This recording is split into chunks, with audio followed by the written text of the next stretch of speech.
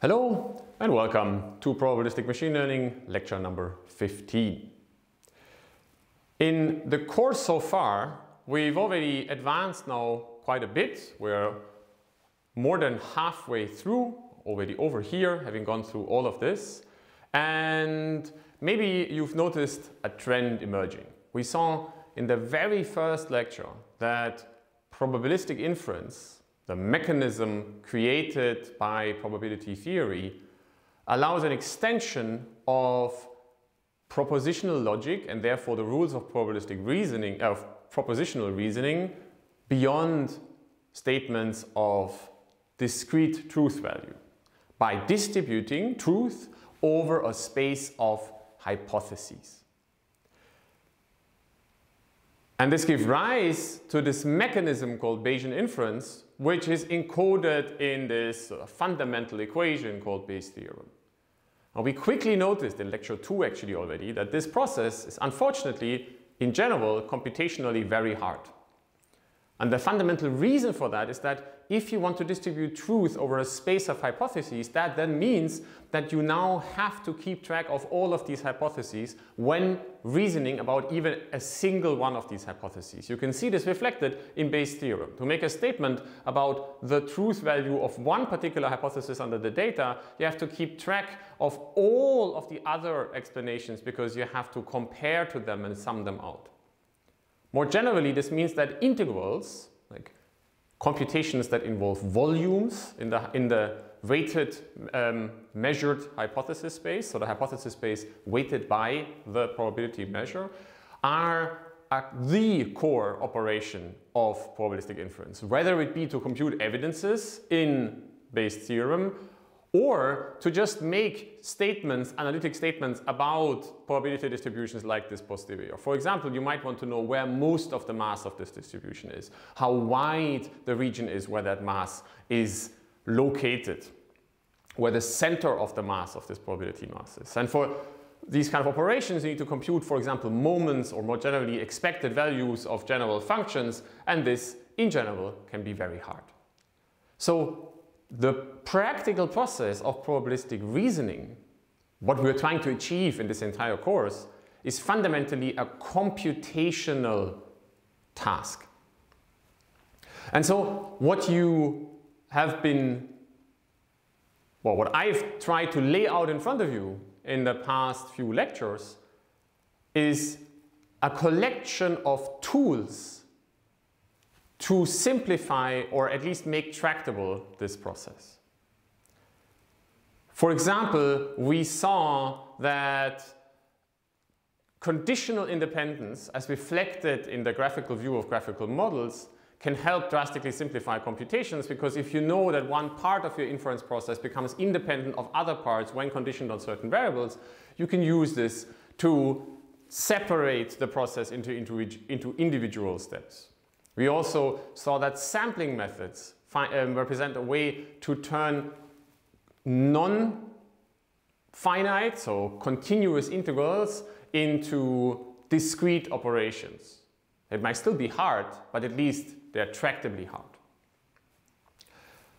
We then encountered, and this became a theme for a large part of the lecture, the wonderful framework of Gaussian distributions, which have an intricate connection to linear algebra in the sense that if you're, if you're reasoning about a set of variables that are connected to each other by linear operations and the joint distribution over these variables is Gaussian, then all the operations we need for probabilistic inference, marginals, conditionals, and so on, are Gaussian distributions and, can, and their parameters can be computed in linear algebra. And that we use this insight to build actually a very powerful framework for machine for large parts of machine learning already, essentially more or less any form of supervised machine learning. We first saw that we can learn, we can use the Gaussian framework to learn functions that are described in a parametric finite dimensional way with features.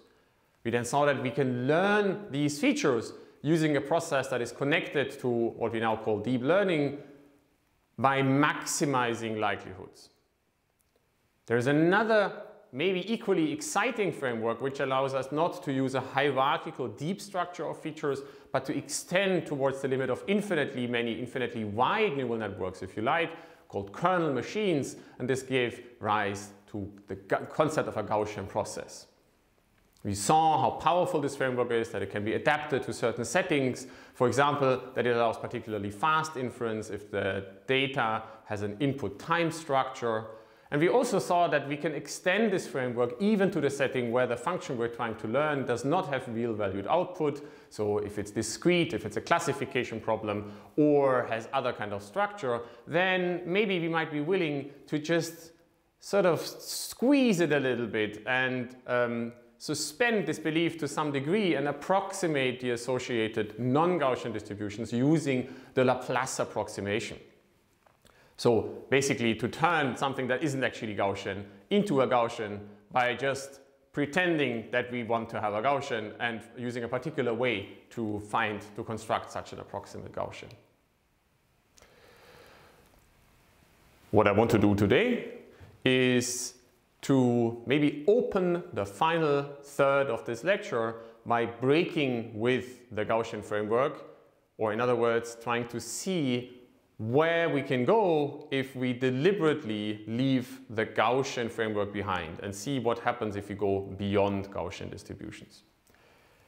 The first time we encountered a situation in our modeling so far in which we had to give up Gaussian distributions was in the setting of Gaussian process regression when we wanted to learn representations for regression models which actually used Gaussian distributions. Remember that we were trying to learn general linear functions which map from an input domain over x in a nonlinear fashion to y by representing the nonlinear function through a bunch of features that are weighted in a linear fashion with some weights. And um, th that can easily be done with Gaussian distributions. That's the whole main power of the Gaussian framework. But then if we ask ourselves what the right features are to use to represent this function, we encounter the problem that to learn that the, the corresponding likelihood, which happens to be a marginal distribution over this uh, joint model, um, is not a linear in general Gaussian type distribution, that means it's not a Gaussian distribution that contains the quantity we care about, in this case labeled as theta, as a linear map in its mean or um, argument.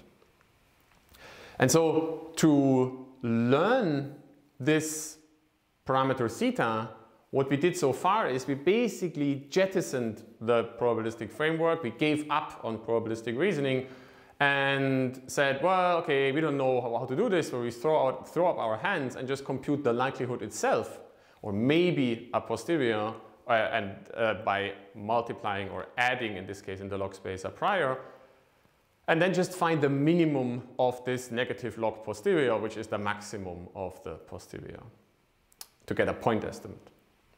So of course, this is in some sense disappointing because it's really not probabilistic anymore. It doesn't provide uncertainty over these variables theta, and it doesn't allow us to integrate out an entire space of hypotheses over what theta might be.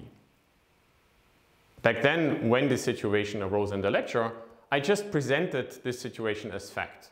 I just said, well, at this, case, at this point, we don't know anymore how to do probabilistic inference, so let's just, just throw it out and use point estimation. That was a good decision back then because it allowed us to continue on quickly.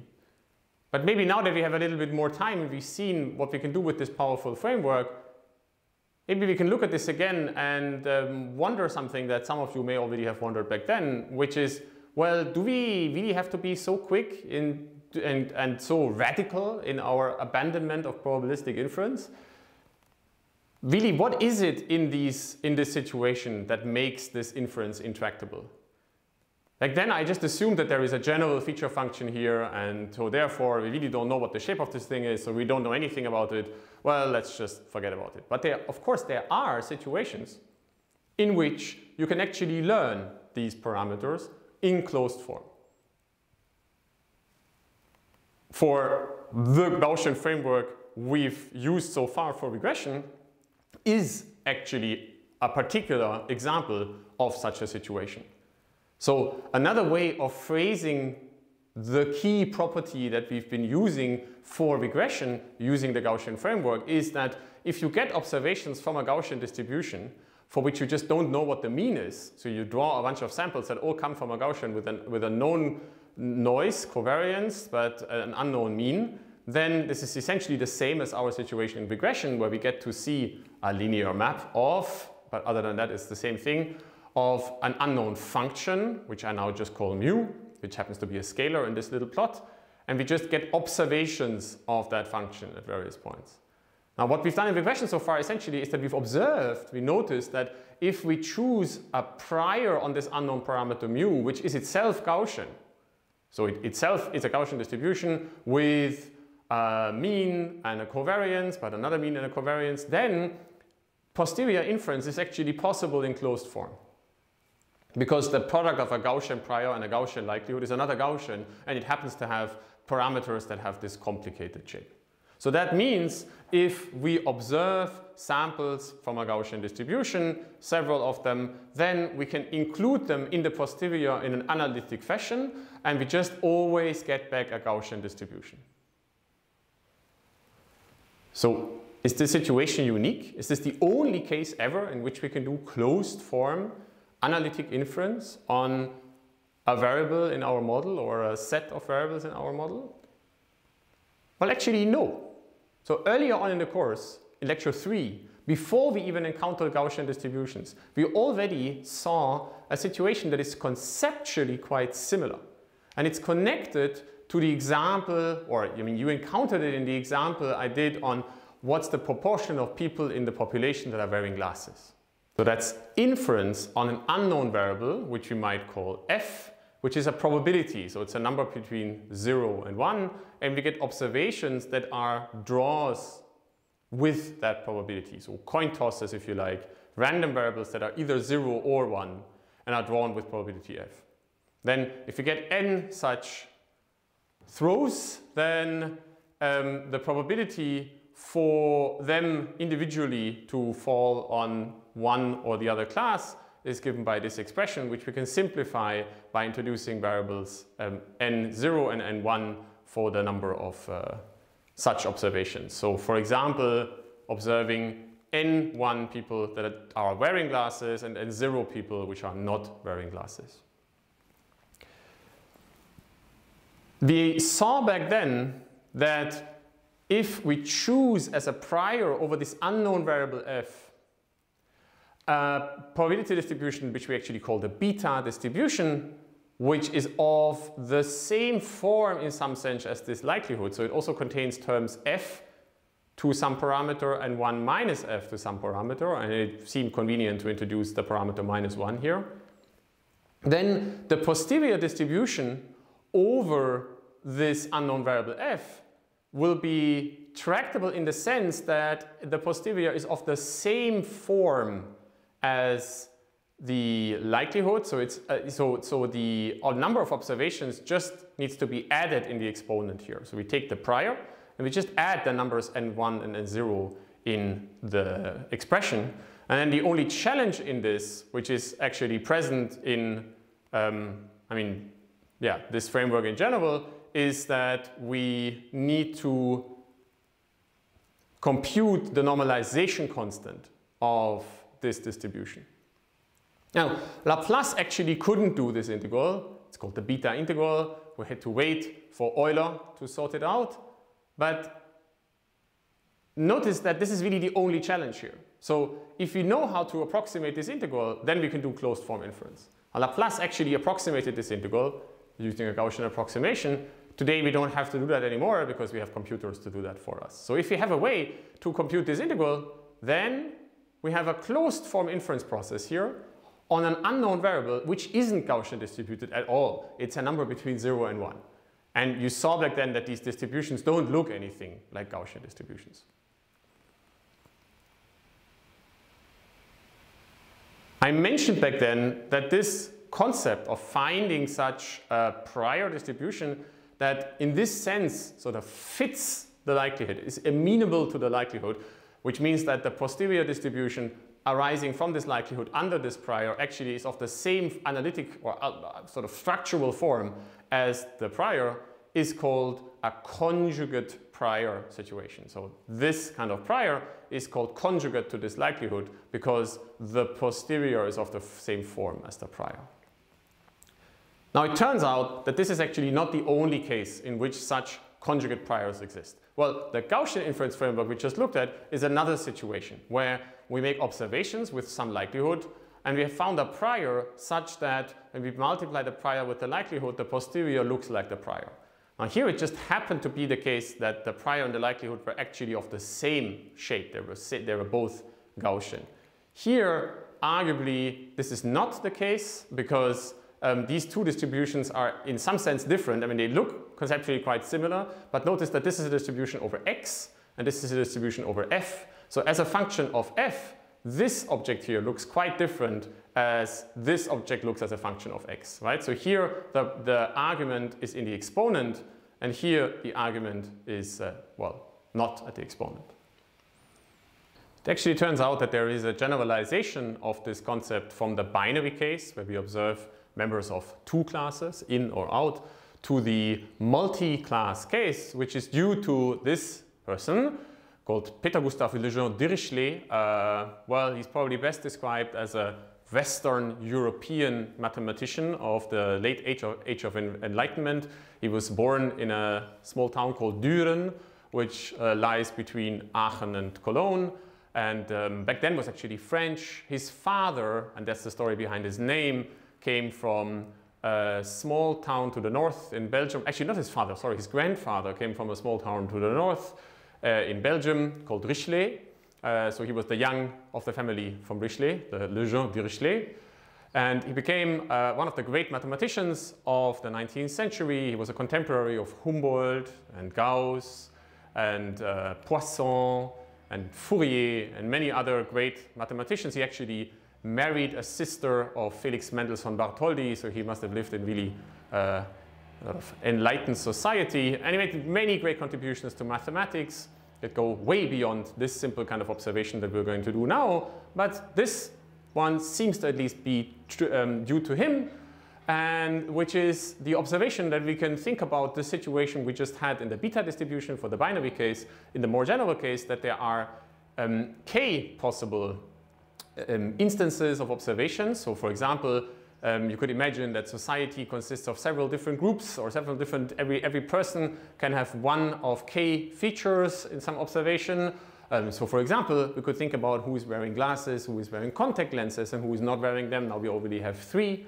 And um, if we make such observations, each with probability f k, if you like, or fx, right? So where x goes from um, well, 0 to k or from, from 1 plus to, to, to k, then, um, and we make n such observations, then there is a similar kind of situation here that every single observation comes with a certain probability. So if we make nk observations of the individual classes each, so we make um, let's say, three observations of the first class and five observations of the second class and so on, then this function can be rewritten, rewritten in this form. So now there are not n terms in here anymore, but only k, which of course is convenient because it sort of summarizes the process from an unbounded number of data points into a finite number of classes.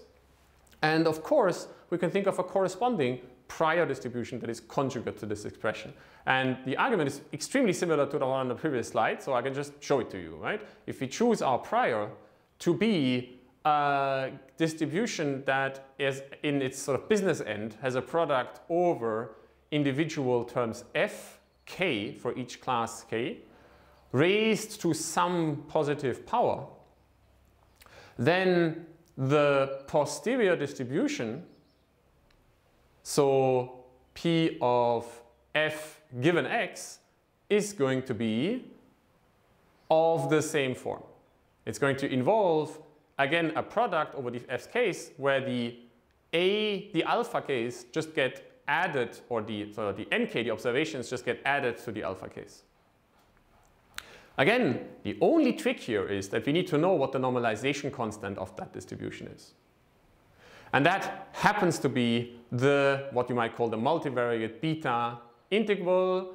Um, it's a corresponding version, which you can imagine, right? It's just the integral over this kind of expression over all the fk.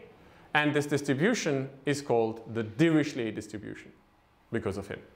So if we have access to this integral, then inference becomes closed form. And we can keep track of uncertainty over a large number of individual probabilities for individual events to occur without having to resort to complicated numerical operations. So now we have two examples of closed form Bayesian inference, the Gaussian one and the, well, in general, the Dirichlet one, because the beta inference um, due to uh, Laplace is a special case of the Dirichlet, essentially. You might be wondering, hmm, are those the only two? But we saw sort of a structure here, right? We looked at the likelihood, we looked at the likelihood as a function of the unknown variable, and wondered whether we could construct a prior distribution that um, is conjugate. Right? So let's see if we can do this in a more manual way for a situation that we haven't encountered yet. So let's say we have uh, observations from a Gaussian distribution, but we actually know what the mean is. We just don't know what the variance is. Notice that this is quite different from the situation we had so far. So, so far we assume we know what the noise is, but we don't know what the mean is. We use that to learn functions of x by putting a Gaussian distribution over those functions. That's the corresponding Gaussian prior for the mean and then making observations of them with no noise. And in both cases, we assume that we know the variance. We chose the kernel of our Gaussian process prior, and we choose the variance of our likelihood. Now, what happens if we don't know the, the variance, but we do know the mean? Well, maybe we can use this idea of a conjugate prior. And to do so, let's look at the logarithm of this Gaussian likelihood. Because by now you may have noticed that it's actually often convenient to look at the logarithm of probability distributions because then products of prior and likelihoods turn into sums of log priors and log likelihoods and we can look at the terms. So the logarithm of this Gaussian distribution is given by this expression. This is just the Gaussian distribution and then taking the logarithm of it. So here is the sort of what we think of as the business end of the Gaussian distribution, x minus mu squared divided by sigma squared. And the other two is what we think of as the normalization constant. So the square root of 2 pi in the denominator and the square root of um, the variance. Now, if you look at this as, as, a function of the variance, though, then this normalization constant actually plays a really non-trivial role because sigma is a part of this normalization constant. So we cannot just forget about it if we want to have a prior over sigma. So if we continue our thought process from the previous few slides and ask, well, what kind of prior would we need that would be conjugate to this expression, then we notice that, hmm, okay, so we will probably need an expression that involves a logarithm of sigma squared and something that is a function, a rational function, so a function of 1 over sigma squared. So it turns out that this function exists and it's connected to um, an integral that is famous for various different reasons. It's a very important special function and maybe we can connect it just to add one more name to our um, interesting collection to this Swiss mathematician called Daniel Bernoulli. He's one of the, the two brothers Bernoulli. He, we could also assign it to Euler, but Euler did so much uh, that maybe it's better to assign it to, to Bernoulli. Um, actually, it arose from an exchange of letters between Bernoulli and Euler and Goldbach, actually.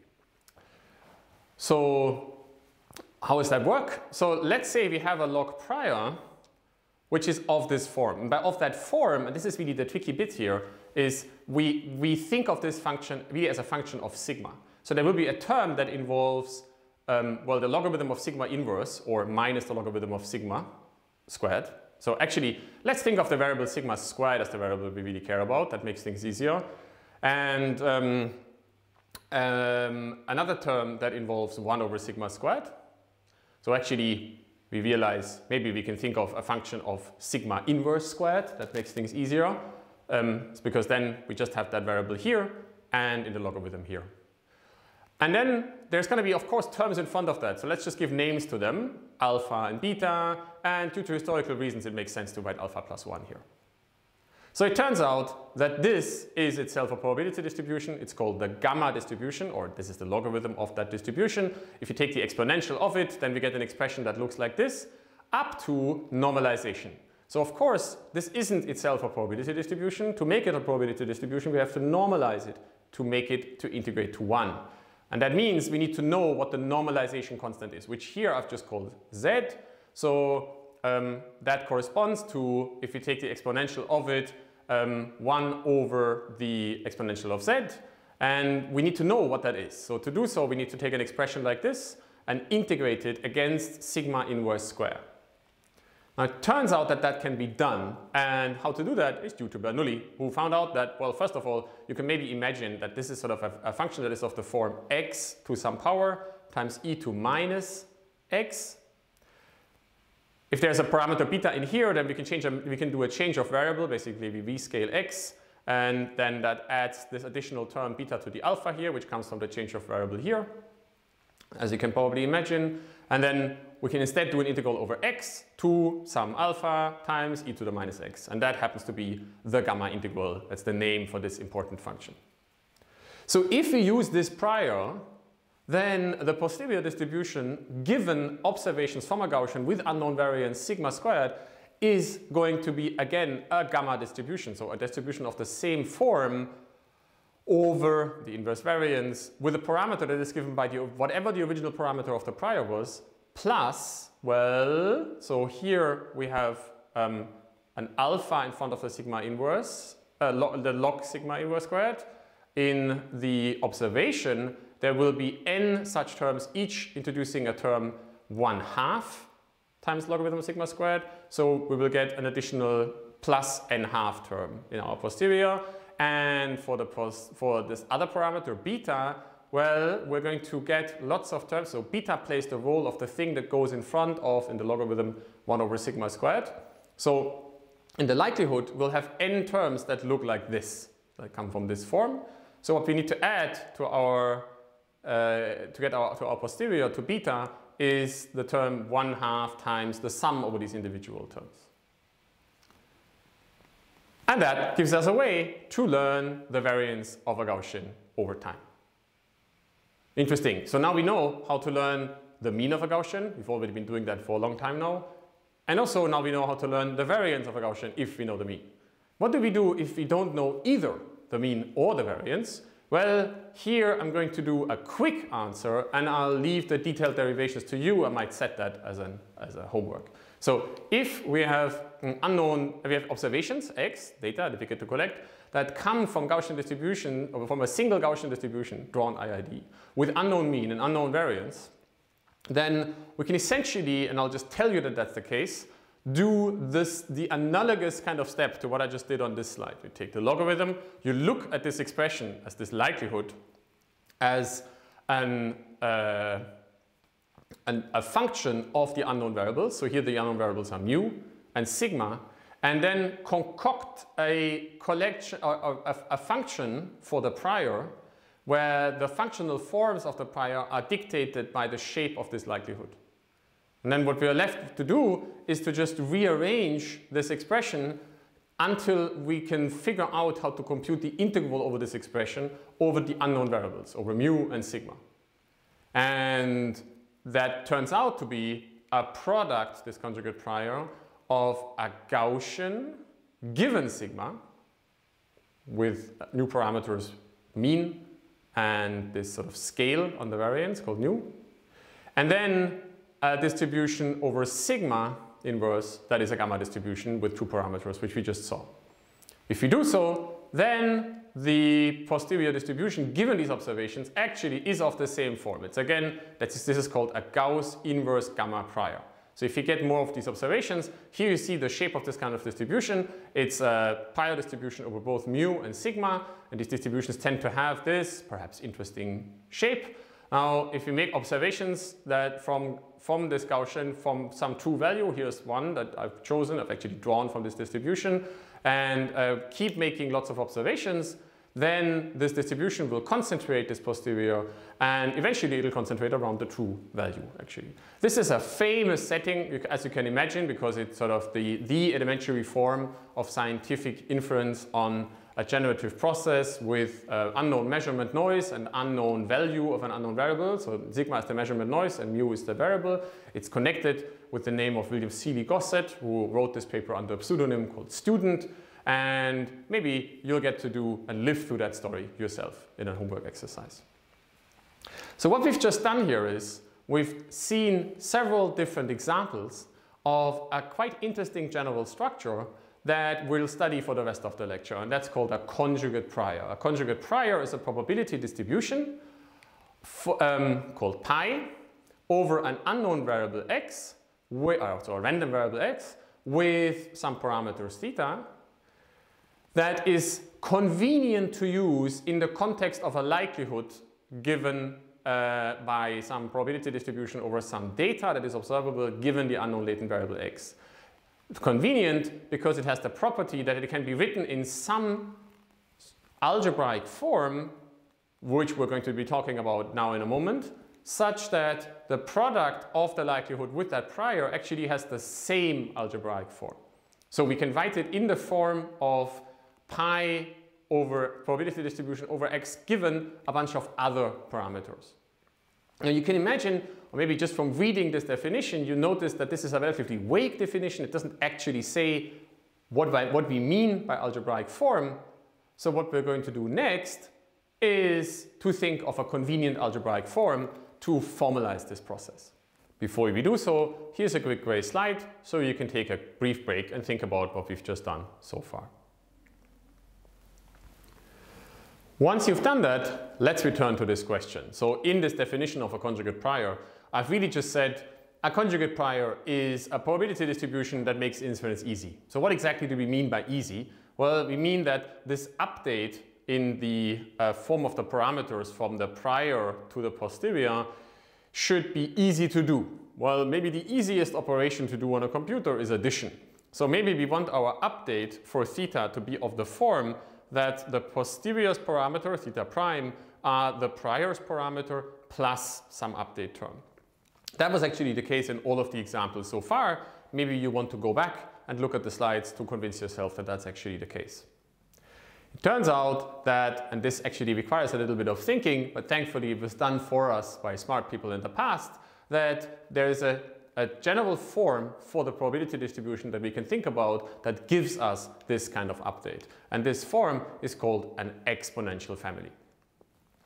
An exponential family is a probability distribution, and this is going to be the most, maybe most difficult definition of this lecture, so maybe you want to go slow here, is a probability distribution over an unknown variable x given some parameters w, so here, this is another parameterization of our situation in which we want to do inference on x given some data y that is a, a distributed according to a likelihood y given x. And we want a prior for x. So that prior for x will have to be a probability distribution over x and it'll have itself parameters and that those parameters we'll call w. Such a probability distribution is called an exponential family if it is of this form. So it's given by a function of x times the exponential of an inner product between some function of x and the parameters w minus a function that only depends on w and is conveniently written in this form as minus the logarithm of some function z of w. We can also, of course, rearrange things around here. The h of x could be moved into the exponential. Then we would have exponential of logarithm of h of x minus logarithm of z of w plus this inner product of a function of x and w. Or we could move z out of the exponential and then we have an expression like this. All of these are just the same. The important structure here is that there are uh, parameters w and the variable x and they connect to each other in the sense that there is one term that only depends on x, one term that only depends on w, and a mixing term which is linear in the parameters w, but potentially nonlinear in the parameters phi of x. These particular functions in uh, this definition have names because they are so important. h of x is called the base measure. W is called the natural parameter of this exponential family or the natural set of parameters. And phi of x is called the sufficient statistics of this distribution over x. Why this is the case, we'll see in a moment. Exponential family distributions simplify the construction of conjugate models. Before I show you how to do that though, let me first maybe briefly convince you that actually all the distributions we've encountered so far over continuous variables and discrete ones are of this exponential, exponential family form or at least can be brought into this form. So let's first consider maybe the most simplest one, the Bernoulli distribution. So that's the distribution over observing, uh, for observing individual events of a coin toss or more generally a certain number of successful experiments, such experiments. So for example, the probability to of a group of people of size n observe k of these people to wear glasses. Then as a function of this number of positive observations k rather than the individual observations, named observations, that distribution needs uh, um, a sort of a correction for being a true probability distribution over k. This is this n choose k uh, combinatorial term. So that's the number of instantiations uh, in which we observe k positive cases among a collection of n or sort of re rearrange them in n. Then, um, so this term was not on previous slides because back then there was a distribution over the individual events rather than the counts themselves. So if you want to talk about the counts, then you need this additional term. Then uh, that distribution, the Bernoulli distribution, is given by this expression where here that's the important bit that we've seen before. And it depends on an unknown variable q. So we can think of q as a parameter of this distribution and then see if we can bring it into an exponential family form. Notice that I'm treating n as a fixed number here, which is not a parameter. And you might already, that might already raise some questions for you, which we're going to get to in a moment. So if we rearrange this expression, then you can clearly see that we can write it as the exponential, or like this constant in front times the exponential of um, k times log q plus m minus k times log m minus q. Now we can collect all the terms that involve k and get the exponential of k times the logarithm of q over 1 minus q plus an expression that doesn't involve k, n times log 1 minus q. So this is of the form that we're looking for, and now we just have to rename the variables to see that this is an exponential family. This term here in front, which only depends on k and not on q, notice again that we've decided to treat n as a fixed number is uh, the base measure. So it's h of k. And the term in here is, this is the, the, sort of mixing term between k and the parameters. So the sufficient statistics of the Bernoulli distribution is literally just k. And the natural parameters of this distribution is given by this, it's called the logit function, the logarithm of q over 1 minus q plus this normalization constant minus the logarithm of z of w is given by um, n times the logarithm of 1 minus q. So there is no w in here, it's still written in q. If you rewrite it in terms of what we just decided w is, then this function can be written in this form. It's n times the logarithm of 1 plus e to the w. So maybe a first observation you have here is that we've decided to say that n is a fixed number. This is similar to how we've said in the Gaussian case that the dimensionality of the problem, d, is a fixed number and we're not considering it a parameter. Of course, there are settings in which you can question whether this is the right thing to do or not. And that will then have an effect on what exactly you get to call the sufficient statistics and the base measure and the natural parameters. This is a first example of how the definition of exponential families is often a little bit vague and depends a bit on interpretation. But we'll see that that's not really a problem because what we're going to do with these distributions doesn't really depend on these technicalities. So here's another example. We used as a conjugate prior for this Bernoulli distribution the beta distribution. The beta distribution is given by this distribution over the variable we just called q on the previous slide with two parameters alpha and beta. And it has this form. So we use this because it's a conjugate prior for the Bernoulli distribution, which actually is also, also contains terms of the form q to the k times 1 minus q to some other parameter. Now here we thought about this object as a function of k, so it's a probability distribution over k with parameters q. Now we're looking for a probability distribution over q, so that needs a different normalization constant. That's called the beta integral. Again, we can rewrite this expression by um, just writing it as the exponential of, there's just a 1 in front, times the exponential of the logarithm of q times alpha minus 1 plus the logarithm of 1 minus q times beta minus 1 minus the logarithm of the beta integral. So this is one way of defining this as an exponential family with a base measure of 1, a sufficient statistics that's given by log of q and log of 1 minus q, and natural parameters that are given by alpha minus 1 and beta minus 1. Notice though that we could also take these ones outside and um, treat them as like to give additional terms involving log of q and log of 1 minus q. So we could drag those outside of the integral. And then this would be an equivalent definition in which the base measure is hap happens to be 1 over q times 1 minus q and the natural parameters are given by, um, well, alpha and beta. So again, here's an example of how the definition of what exactly an exponential family is depends on how you want to write these expressions. So one thing you have to keep in mind when dealing with exponential families, that there is no unique way of writing a particular probability distribution, at least in general, in exponential family form. There are, though, a whole list of interesting such exponential families which can be used for various different applications. Here are just a few of them. You can find an even longer list on Wikipedia if you like. For example, there is the Bernoulli distribution we've just encountered, which is a distribution over probabilities for um, uh, the individual successes of coin tosses or observations of uh, people wearing glasses or not, or other individual discrete events in, as observations.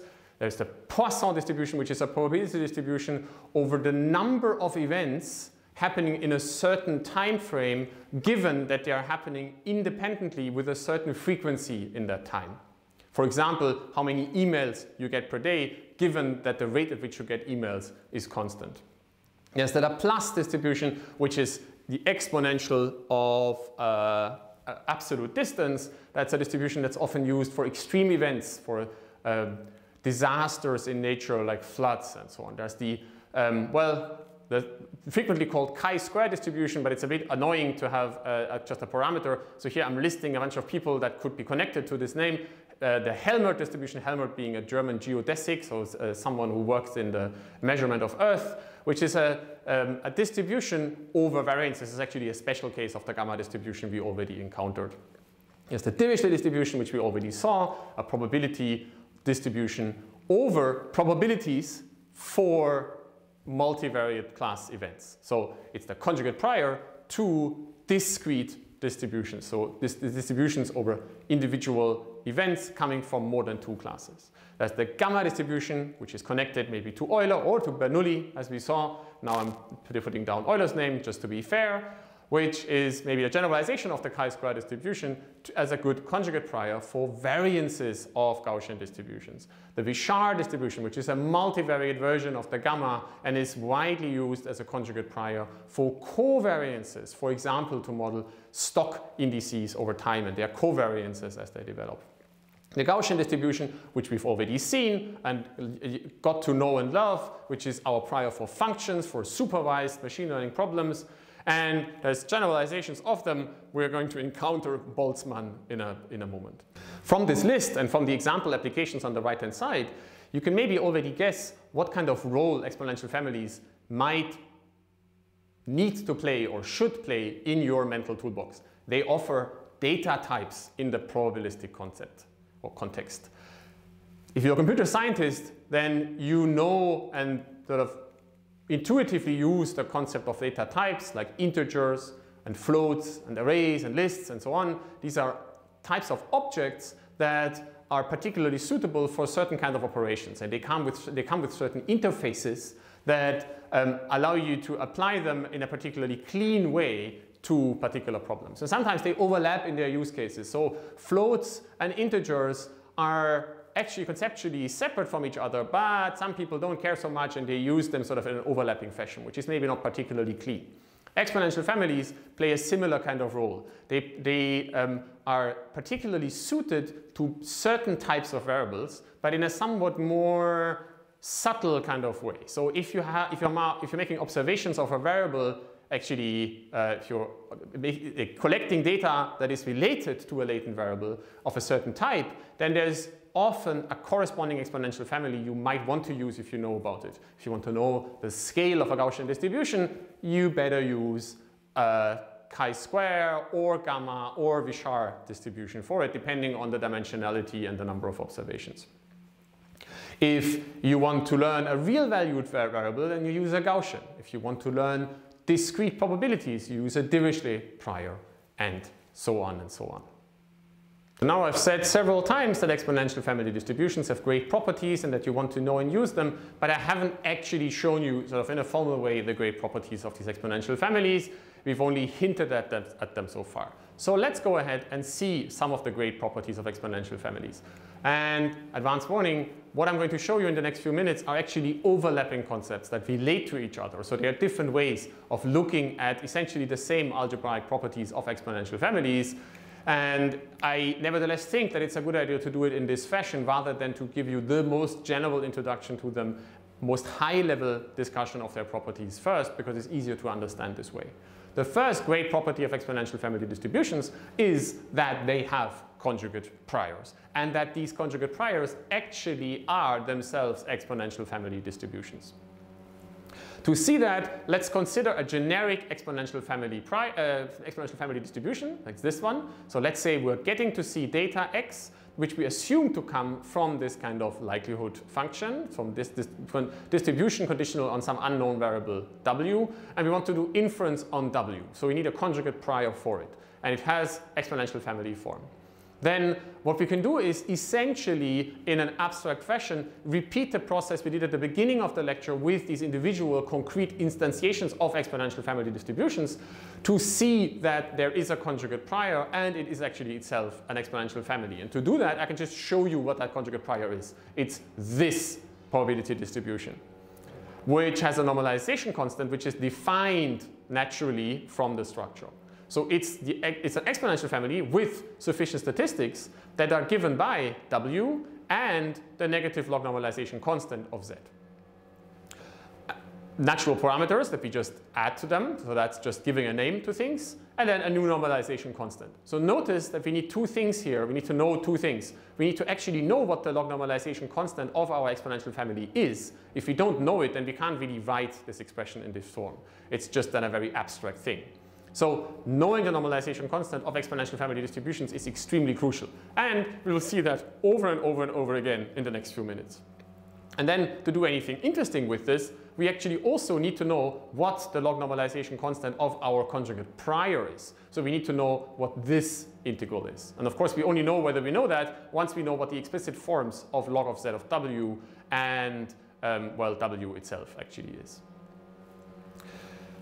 If we have such a prior, let's just convince ourselves that it is actually conjugate. So if we multiply this likelihood with this prior, then, um, and let's say we have many terms of that form, so we get lots of different observations xi, because that's the most general form, then the posterior distribution is going to be the product of prior and likelihood up to normalization. We'll get to see the normalization in a moment.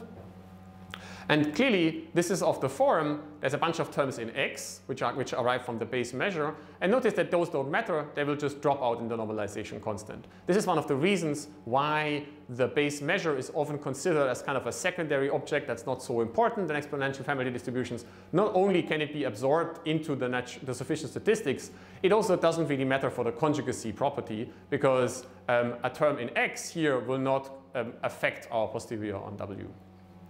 The only terms that matter are these expressions in W here and here and here and here. And we notice that the posterior is going to be of the form of the prior, where the sufficient statistics are updated in an interesting fashion. Uh, sorry, the natural parameters are updated in an interesting fashion. To get the posterior natural parameters, we take the prior natural parameters and then add the sufficient statistics of the likelihood. And the second sort of special natural parameter that is related to the log normalization constant, so there's a, it's a scalar term, obviously, because there's only one log normalization constant, that thing actually just keeps track of how many observations we've seen, how many terms we have in our likelihood just counts up the number of experiments. We've seen instantiations of this before in the case of beta and Dirichlet and also gamma inference. And actually, it's also hidden inside of Gaussian inference, even though we didn't see it so explicitly. Maybe we'll make that an exercise to see that. Now, Bayesian inference doesn't just require multiplying a prior and a likelihood, it also requires computing an evidence, the normalization term of a posterior like this. Now this we can compute because it actually amounts to a normalization constant of such an exponential family distribution. So let's say we only think about one particular sample, x, so we don't have n observations, we just have one, then to predict that sample, to compute the evidence for that observation, we need to compute this marginal probability distribution. And if we now plug in the forms for this, so if we plug in the form of our exponential family likelihood, and we plug in the form of our conjugate prior, then we see that we have to compute an integral over an expression that is exactly given by an evaluation of the normalization constant of the conjugate prior at a point that is sort of an, the predicted update to the, um, to the sufficient statistics. So the, uh, or the, sorry, the natural parameters, I keep mixing them up. So we need to compute this capital F at alpha plus the value of the sufficient statistics x and nu plus 1. And that's only 2 up to normalization. There's a bug in this equation. There should be a minus here. Sorry about that, just by the definition of the conjugate prior, of course. Then that walks, um, moves down here. And um, we just have to evaluate this ratio to get our predictive distribution. That is up to the base measure h of x, but of course we assume that we know what the base measure is, so we can just evaluate it. Here's another reason for why base measures are not that important. We just assume that we can evaluate them, so if we can evaluate them, we just plug them in front. Now notice that again, to do, be able to do so, this requires that we know this log normalization constant, actually this normalization constant. If we don't know this, then we can't do this kind of process. So actually, I could have defined a little bit more specifically, practically minded, an exponential family by saying exponential, exponential family distributions are distributions that are, that are of that form, where you know all of the quantities in there. So it's not enough to just be able to abstractly write down that there is this thing. If you actually want to use it, you need to know what not just phi and h, but also what log of z of w is. And in fact, it turns out that z is really important. many of the great applications that I'm going to show you, I already showed you, and I'm going to show you now, we rely on the fact that you know what z is actually a very concise way of thinking about what exponential family inference actually means is that you're borrowing someone else's work to compute an integral. If someone has already gone ahead and computed z of w for you for a particular choice of natural parameters and sufficient statistics, then you can use that work of someone else, the embodied knowledge in that, in that integral, to simplify subsequent computations. You already saw that in this example. So if you have this f, then you can predict future x, or you can compute evidences if you like. And um, you can also compute posteriors because posteriors involve this normalization constant. Another, another way of thinking about this role of f is in the next slide. So let's say we want we have data that comes from an exponential family, but we don't have a prior, a conjugate prior. So maybe, um, so I mean, this slide is sort of a, the, the generic setting of what we would like to do, Bayesian inference on um, a, a, variable w. But um, we notice that to be able to do so, we need this normalization constant f. So actually, we need two different normalization constants, z and f. So let's say we don't have f, but we have z. So that's already one integral that may, might simplify our lives. Then we can still do approximate inference in the maximum likelihood sense on the parameters w and use the structure of the exponential family to simplify our life. To see that, let's say we get data x that comes from uh, the, uh, an exponential family with parameters w, so it has this form. Now you'll notice that I've left out the base measure here. I've just assumed that the base measure is 1. You can see from what I'm going to do in the next few slides that that, that, does, that, that doesn't really matter. If you have a, a base measure h of x here, it's just going to drop out uh, one line below.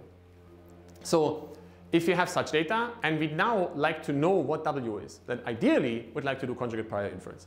That requires knowing this f, this normalization constant of the conjugate prior. If we don't know that, maybe we can do maximum likelihood inference. We can at least estimate what the best choice of W would be and then ask, give that as a point estimate. To do so, we could try and maximize this expression, this one here, um, for our n data points. Of course, if you only have one datum, then nothing changes, right? It's just, you just get rid of this sum.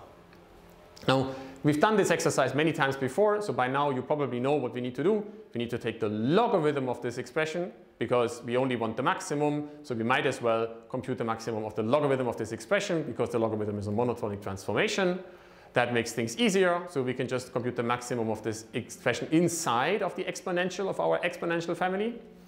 And then what we're going to do is we're going to compute the gradient of this expression with respect to w and set it to zero. Now because there is this sum in the exponential family, setting this gradient to zero means that we just need the gradient of this expression, which is our log normalization constant with respect to w, to be equal to the sufficient statistics.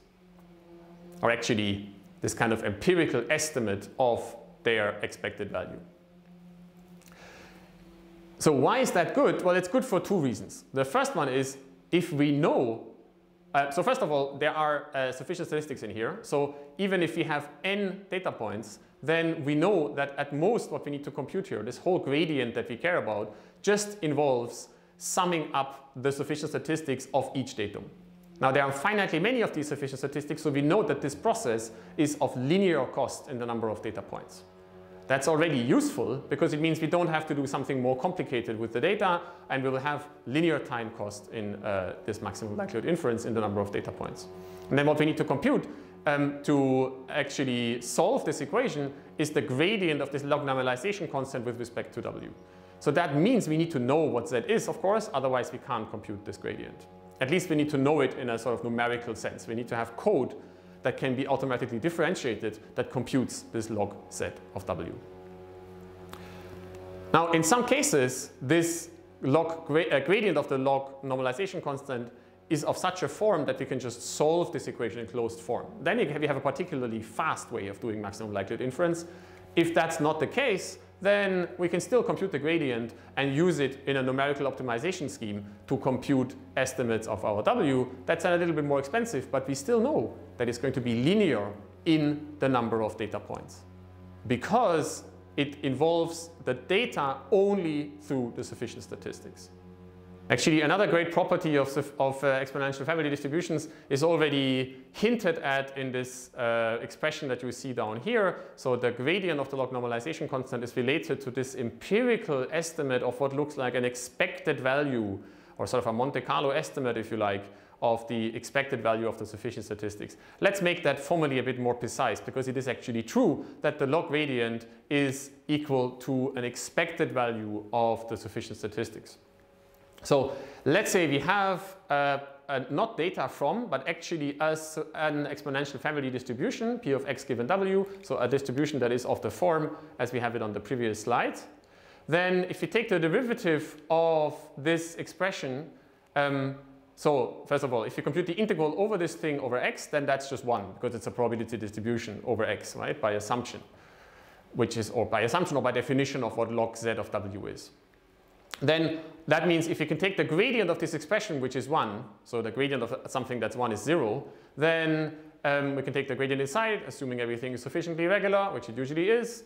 Then um, if we, that means we need to take the derivative of this exponential, so here's an exponential in here, to, maybe let's go back one slide, we need to take the derivative of the exponential of this expression with respect to w. That means we're, by chain rule, of course, going to get that expression back times the inner derivative. So the inner derivative of this is phi with respect to w is the derivative, right? It's phi minus the gradient of log of z of w.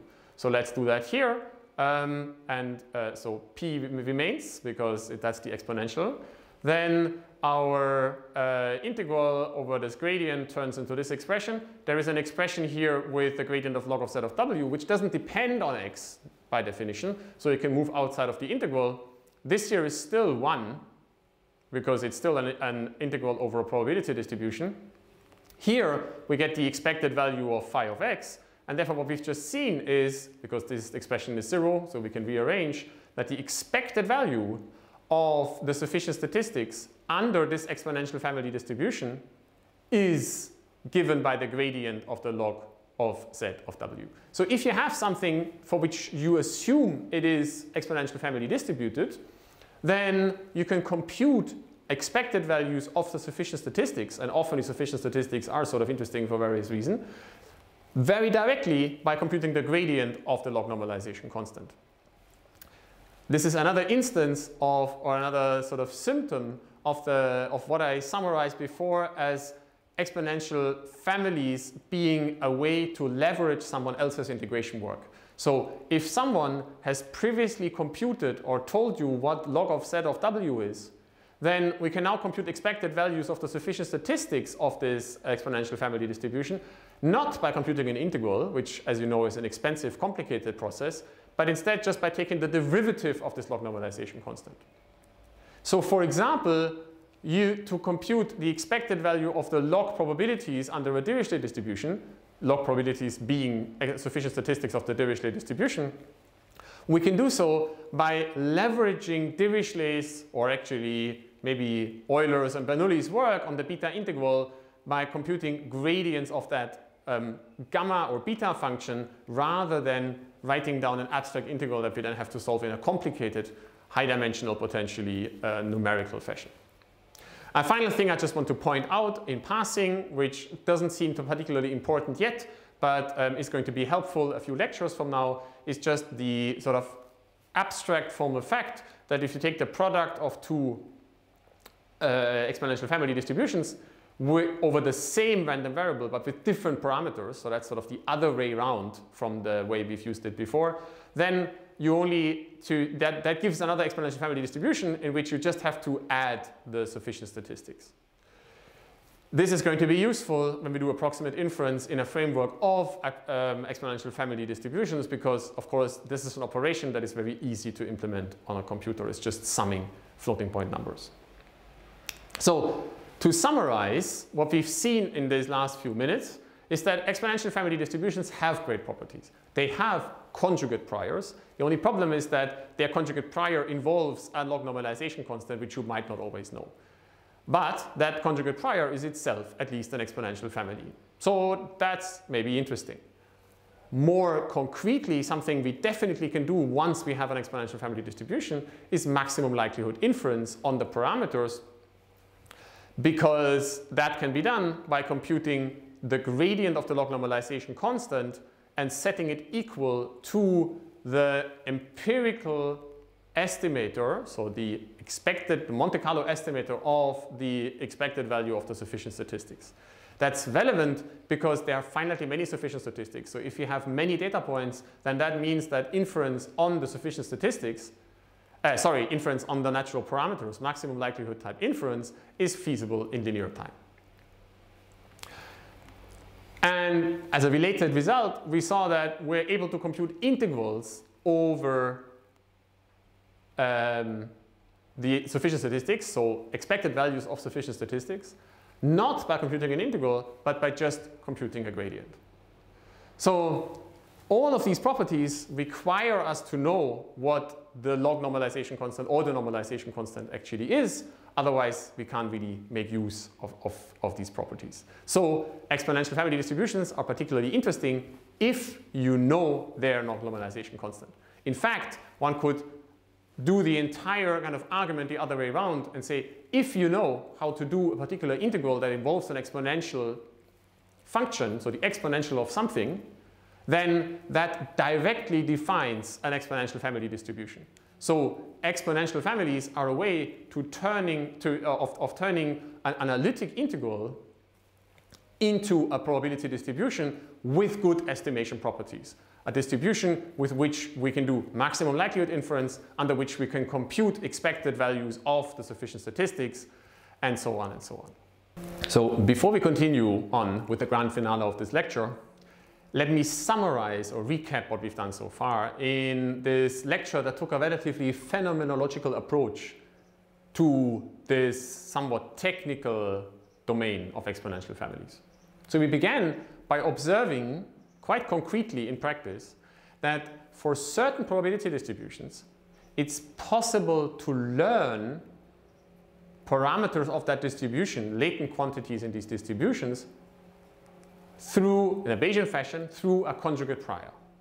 That is true, for example, for the parameters of discrete distributions and binary distributions, or for the mean of a Gaussian or the variance of a Gaussian. So when we try to formalize this notion of a conjugate prior, we notice that there is this other concept called an exponential family, which simplifies the constructions of conjugate priors. And in fact, if we choose the likelihood to be of exponential family form, then first of all, there is actually a conjugate prior, and that conjugate prior is itself of exponential family form. Now that conjugate prior, if it's available, that means if it's tractable, allows Bayesian inference on the parameters of our probability distribution. Now it's not always tractable, so if it's not tractable, then we can still do maximum likelihood inference on the parameters of our exponential family likelihood. And doing so is possible in linear time in the number of data points drawn from this exponential family distribution because the data only enter in the sufficient statistics of our distribution. So maybe you've noticed that the process that we've gone through here has something to do with learning. We're learning not a function as we have in previous settings, but we're essentially learning a probability distribution. We keep getting lots of draws, x, from some unknown probability distribution, and then we use those draws to fit the distribution, to learn probability distributions. Can we make this process a bit more formal? Do exponential families provide a framework for learning probability distributions similar to how Gaussians provide a framework for learning functions? And to do so, let's maybe go back to our framework for learning functions and think about how it would be described in a statistical and probabilistic framework and how they two connect to each other. So in lectures so far, we focused on learning problems where we're trying to learn functions. So that's supervised machine learning, if you like. In the first lecture on Gaussian, actually the very first lecture on Gaussians, I provided you with a, like a tedious, lengthy version of um, what I just did with exponential families. We went through various good properties of Gaussian distributions, just as we now just went through good properties of exponential family distributions. Then in the lecture that introduced regression on Gaussian distributions, sorry, regression on functions, we decided to use a combination of likelihood and structure in the thing we're trying to learn, the parameterized structure, the function.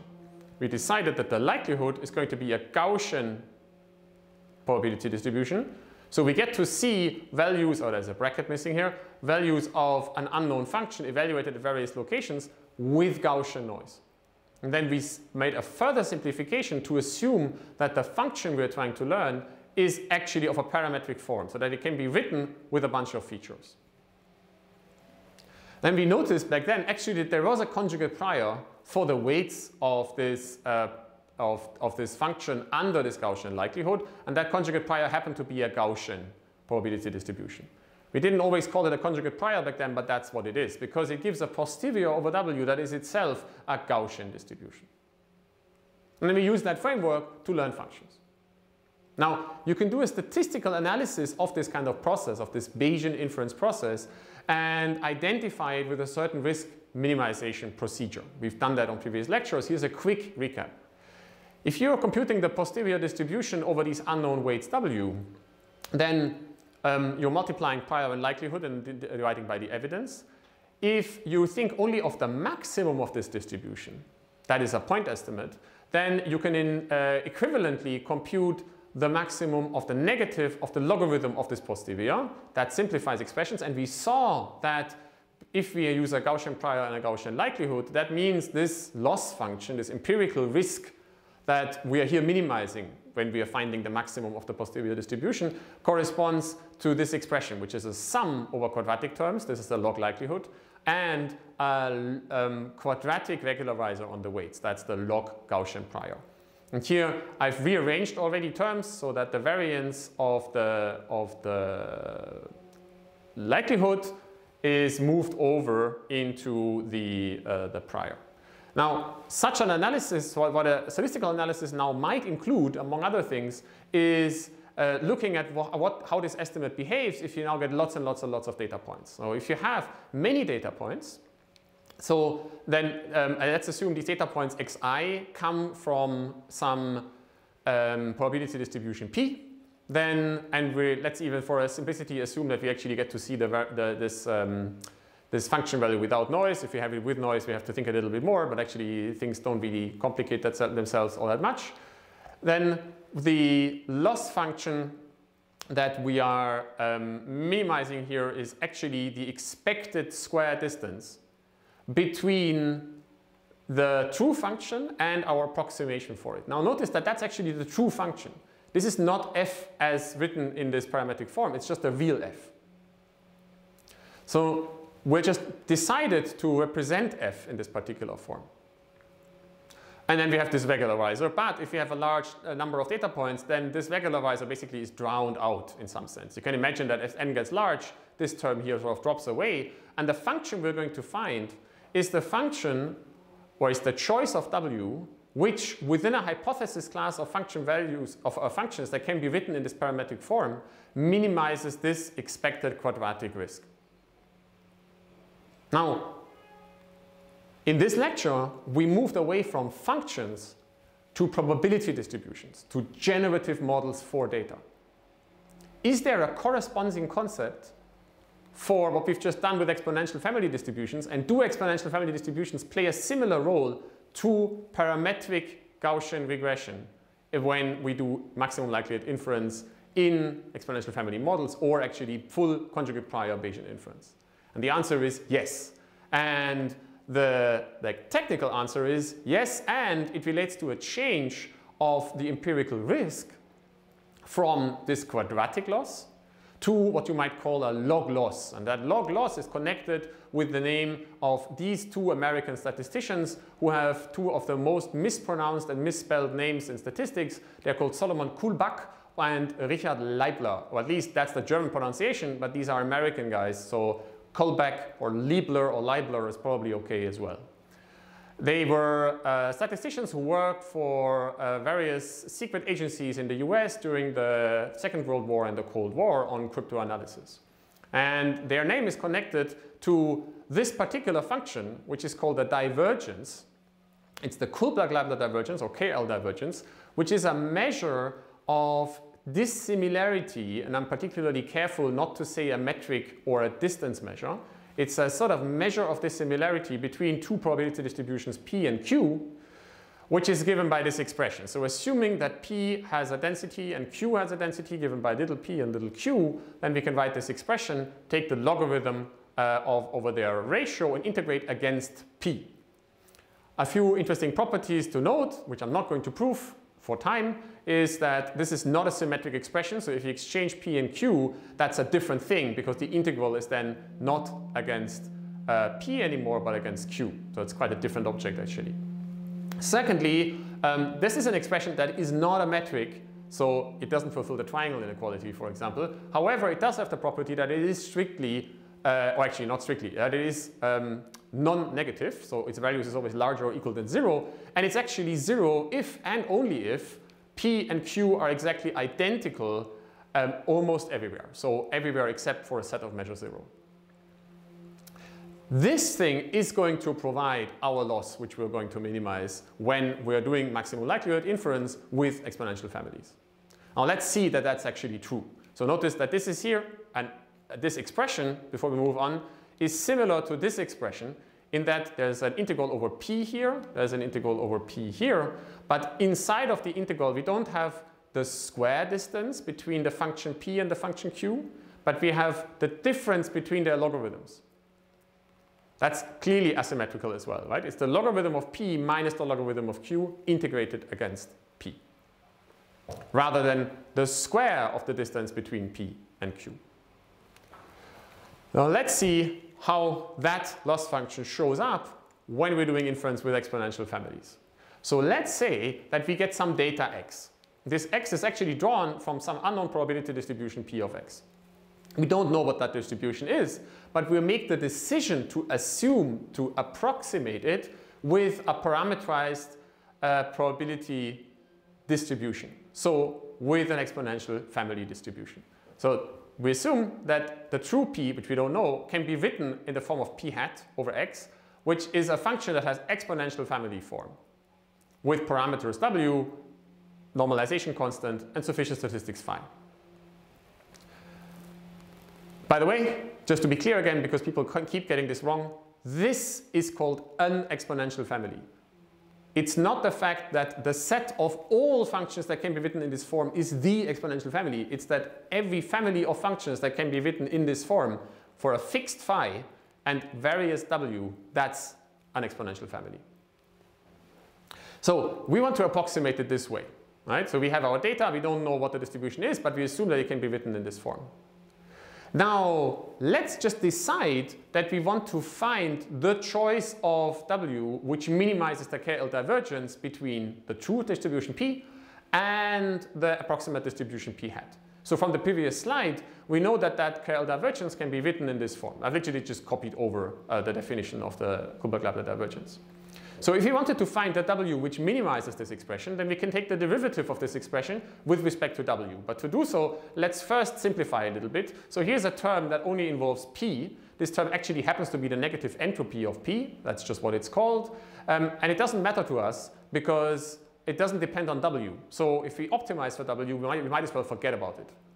So instead, we just get the term, um, the second term in this expression, which is an expected value because it's an integral over p, over the logarithm of p, of p hat. So let's look at that logarithm. Well, it's given by phi, phi transpose times w minus the log of z. So the log of z, w doesn't depend on x, so that integral here is trivial. It's just an integral over a probability distribution, so it's just that thing. And in front, we have the expected value under the true distribution p of the sufficient statistics, and they're in a product with respect to W. So if we want to minimize this, then we have an expression that we've seen before. We want to choose W such that the gradient of um, this expression is equal to this expected value. And so here we go, right? And one way to estimate that is, so, and that's the empirical risk minimizer, is to just compute the empirical risk. So that's the empirical estimate of the um, of the, the sufficient statistics transposed with W minus the log of, of, of Z. And if you take the gradient of that, then we find an empirical risk minimizer, which is given by the choice of W, which sets these two equal to each other. In the limit of many, many data points, of course, um, this um, Monte Carlo estimate here, if assuming we have IID data, converges to the, the true expected value and then we're actually just finding the member of our, of our exponential family, the choice of W, which minimizes the KL divergence between the true distribution P and the estimated distribution P hat. So that's, if you like, statistical estimation of probability distributions.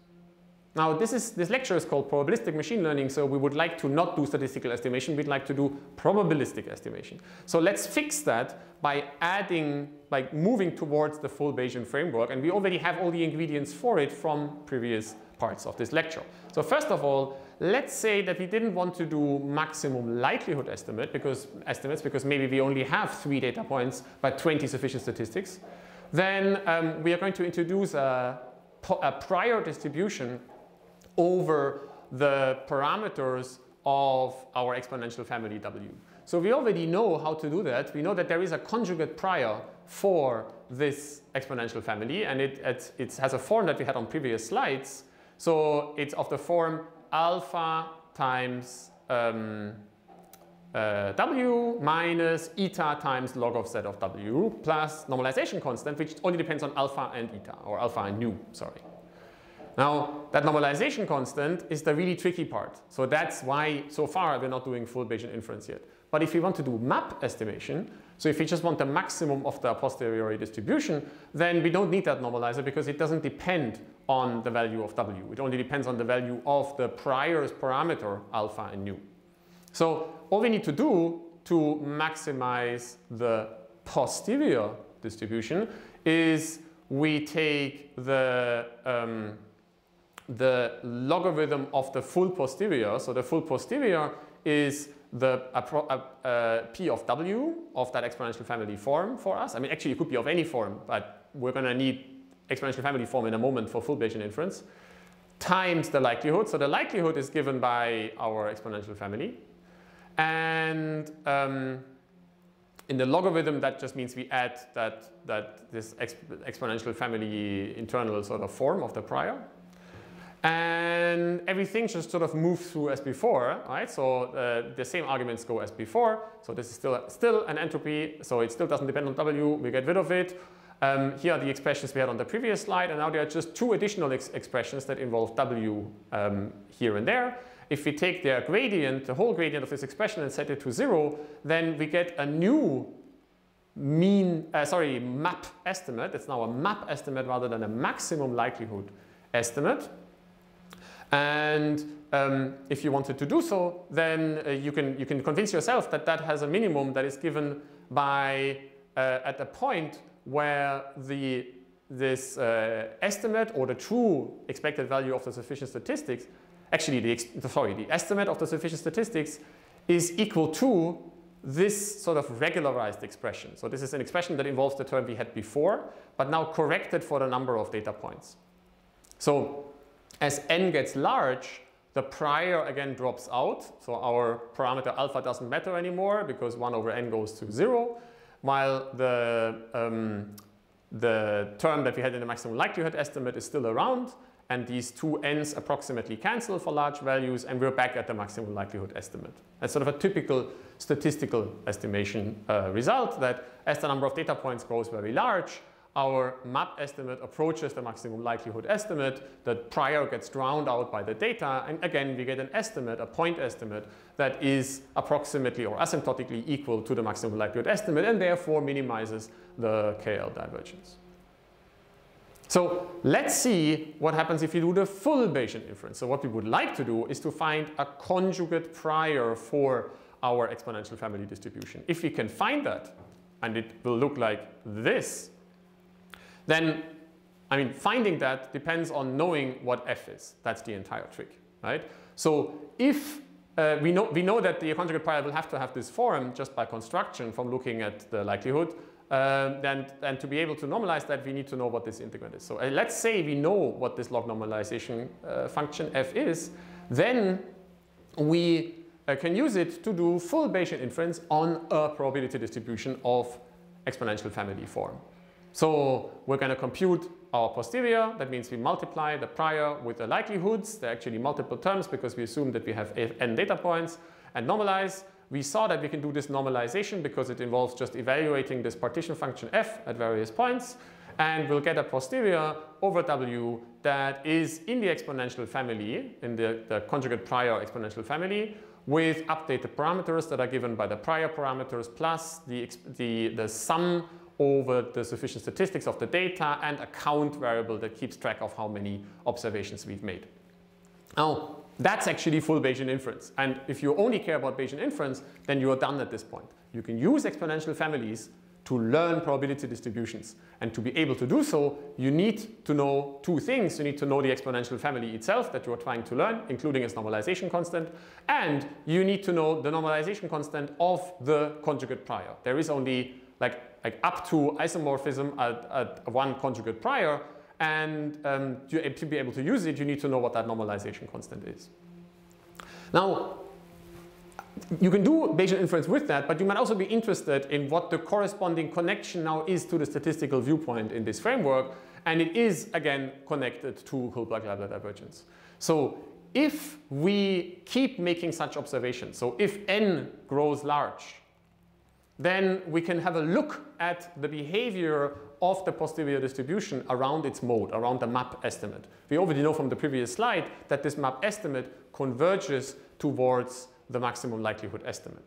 I'll leave it as an exercise for you to convince yourself that the Hessian, the curvature of this um, log post, oh, sorry, of this posterior distribution, of this uh, exponential family distribution, is given by this expression at the mode. So um, yeah, I'll just leave that to you. And what you'll see here is that this uh, second derivative, this Hessian, is given by the value of the, of the posterior at its mode, so that's a large positive value, or it's the largest possible positive value, times um, some uh, particular value, some constant at, at this, so that's the curvature at, uh, of the log normalization constant at this particular point.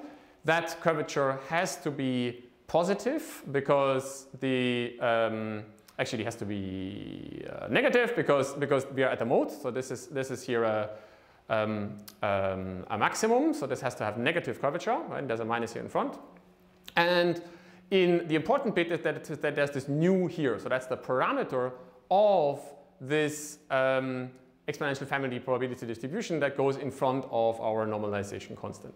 Now, as the number of data points increases, this parameter is nu plus n from over here, and n gets large, so the curvature gets very large. That means that our posterior distribution is concentrating around its mode. Of course, that's not a full proof because it's only a local statement, but it has to suffice for this argument. Now, in the limit of infinitely many data points, you can then th thus convince yourself that the probability distribution, the full posterior distribution, concentrates around its maximum likelihood value and not just, well, maxima posteriori, but we know from the previous slide that it goes to the maximum likelihood value, and we already know what that maximum likelihood value is. It's the expected value under the true, true distribution P, not the approximate one of the sufficient statistics.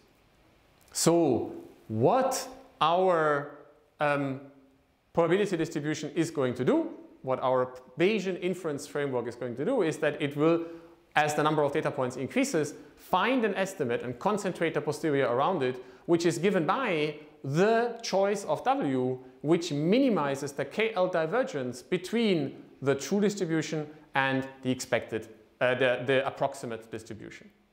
So with that, let's briefly summarize. Exponential families actually provide an entire framework for learning probability distributions. You can use them in a maximum likelihood, maximum a posteriori, or full Bayesian framework, depending on how many quantities you have available, how many integrals you're able to solve. Given data drawn IID from some unknown distribution P, if you decide to approximate that distribution with an exponential family distribution, then the, um, you can do maximum likelihood inference in O of n time by computing gradients, and that involves computing sufficient statistics over the n data points. You can assign a prior which always exists, it's, which is called a conjugate prior. It's not usually tractable in general, but um, if it's not tractable, then you can still do maximum a posteriori inference. And if it is tractable, you can do full Bayesian inference.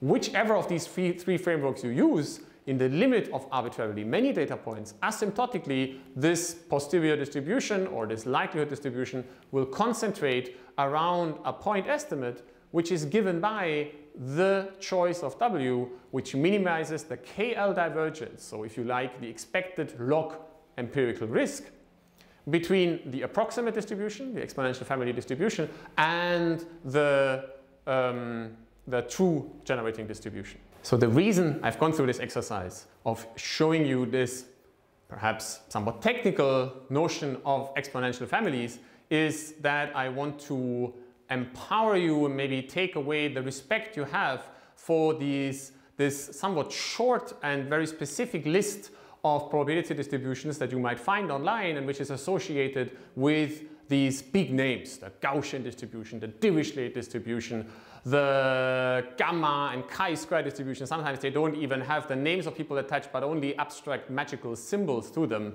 And that might give you the impression that there is only a very finite list of these distributions and that you don't even have to think beyond them. The goal of this lecture course, in general, is to empower you to build your own tools. And that means you shouldn't be using black boxes, whether these black boxes are come eh, to you in the form of software libraries or in the form of some formula that some big guy wrote down a long time ago. So let's end this lecture with a little bit not entirely serious kind of uh, game. Let's say I wanted to, I just really wanted to be part of this list of cool people and I would like to add my face to this uh, gallery of, uh, of wonderful, amazing mathematicians then maybe all I have to do is to invent an exponential family probability distribution and somehow sneak my name onto it on Wikipedia. So let's see how I would do that. Well, um, the, the, the one thing we actually need to define an exponential family distribution is a log normalization constant. If we have that, then we have everything because its gradient defines the expected value of the sufficient statistics and we can do inference, at least maximum likelihood inference with it.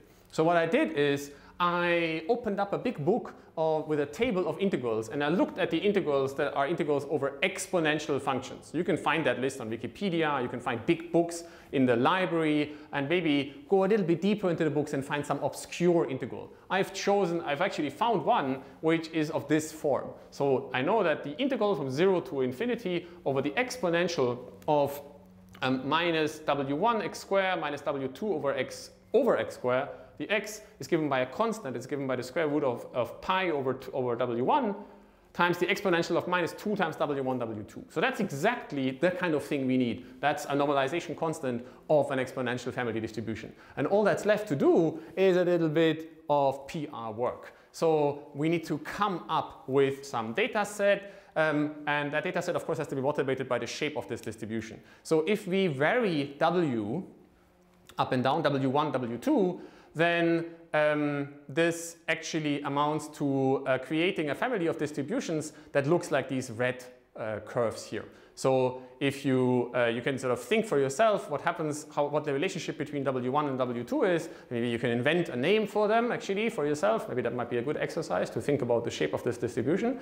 And then if you have that, then um, you're, you're done, right? You can now do inference on data sets that look like this. Of course, you have to come up with a reason for why that is a good, a good, uh, a good, good data set or a kind of good structure to look at. But you know, maybe you can invent some. So for example, I could say, okay, the sufficient statistics of this uh, probability distribution are given by uh, minus x squared and minus 1 over x squared. So maybe it has something to do with the eigenvalues of symplectic matrices or um, the, and therefore the stability of some uh, control problems. Maybe it has something to do with data that lies on a torus through which we have made a cut at some point, something like this. Doesn't really matter, right? We've just sort of, let, us first invent the probability distribution and then let's see whether there's a use for it.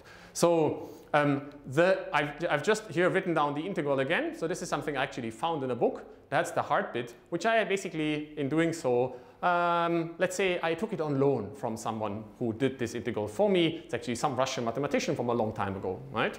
I just now know what this is. Now that z treated as the normalization constant of the exponential family defined by this form directly gives me everything I need. That's done, right? I don't actually have to contribute anything myself. Other than maybe coming up with a fancy abbreviation for this uh, data, for this probability distribution that somehow reminds people that I was the one who came up with it. So um, here it is just by definition again what this probability distribution is. Here is the exponential family form, and here is the log normalization constant, actually the normalization constant printed right in front of it.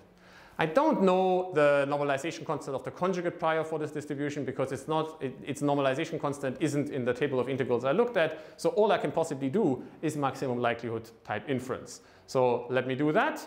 To, to do maximum likelihood inference from a data set, I will collect data from, so here is on the right hand side is already a first datum that um, I've observed. And there will be more in a moment. And I will do maximum likelihood type inference. To do so, I compute the, I, so let me just write down again what the normalization constant is and its logarithm. So that's what I have on the, on the whiteboard behind me. I've just taken the logarithm of it. And all I now need to do is compute the gradient of this function with respect to its two parameters, w1 and w2 that's given by this expression. It's a simple exercise you can do on a piece of paper in a few lines. To solve for the maximum likelihood estimate, I need to find, I need to compute the empirical uh, expected value of the sufficient statistics, or the empirical estimate of the expected value of the sufficient statistics. That's given by this sum. And then solve this expression for these two parameters. Actually, it becomes kind of natural to introduce two new parameters. That's called a mu bar and omega bar. That makes it easy to uh, solve this, um, this equation. And um, we can just replace, like solve this linear equation, or sorry, not linear, this rational equation here for W1 and W2. And that's it. So now if you give me data, draws x, all I need to do is to take x, apply the square and 1 over the square of those, sum them up, and then plug in those numbers into this estimation procedure to get W1 and W2. And you can see here what this looks like. So after one datum, black is the true value, red is the estimate. The maximum likelihood estimate, of course, is overly confident because it's a maximum likelihood estimate. But as I get more data, Uh, even after just three data points, I already have a pretty good estimate of the true distribution. And if I keep going like this, then they'll become more and more. And this distribution will approximate the true distribution. Of course, that's because I've assumed that the true distribution looks like the distribution I would like to use. If I would use a Gaussian distribution for, or actually some other distribution to draw my real numbers, then what this process would give me is the minimizer of the KL divergence between this family of distributions, this exponential family, and the uh, true distribution. With that, we're at the end of this lecture. Just to summarize again, exponential family distributions provide a tool set to learn probability distributions um, for like to, to learn basically generative models, right? To learn distributions over um, random variables from data. They, you can use them to do maximum likelihood inference. That's always possible once you have an exponential family, just by computing gradients of the log normalization constant and setting them equal to the sufficient statistics, uh, or rather their estimated values. That's possible in linear time. You can easily correct for a map estimate by introducing a conjugate prior. That conjugate prior is itself an exponential family distribution. If you happen to know the normalization constant of that exponential family conjugate prior, you can even do full Bayesian inference on probability distributions. And we saw a statistical interpretation of this process, which provides us with, which, with a guarantee that as the number of data points increases, we will at least find a best estimate for the um, true distribution within our parameterized family of exponential family distributions. The whole, like the linchpin of this entire process is knowing the log normalization constant. So if you find an integral somewhere in a table of integrals that allows you to compute expected values of some weird sufficient statistics, then you've just invented a new exponential family. Or maybe a little bit more realistically, if you have a data set that you think can be described, whose generative process can be described in terms of some sufficient statistics, maybe go out and see if you can find the corresponding integral in a table of exponential integrals. With that, we're at the end for today. Thank you very much for your time.